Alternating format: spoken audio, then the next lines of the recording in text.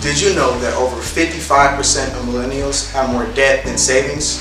And 46% of Americans don't have a rainy day fund. How about this? For every dollar the white man makes, black women only make 63 cents. And Latina women only 55 cents. Crazy, right? We challenge you to bring financial awareness to your community.